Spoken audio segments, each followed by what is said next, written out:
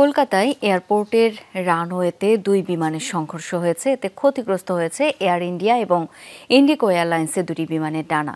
কর্তৃপক্ষ জানায়, বুধবার রানওয়েতে অপেক্ষমান ছিল এয়ার ইন্ডিয়ার বিমান।